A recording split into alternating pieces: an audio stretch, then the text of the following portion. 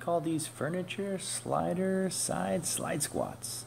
So basically one side is doing a squat, the other side is reaching. Whoa, hold on. Only go as far as you can go without getting stuck. The side that stays planted, I like to rotate my foot out a little bit. Just feels good on my knee. And again, the other foot is, the heel is on the slider. and just reach and return.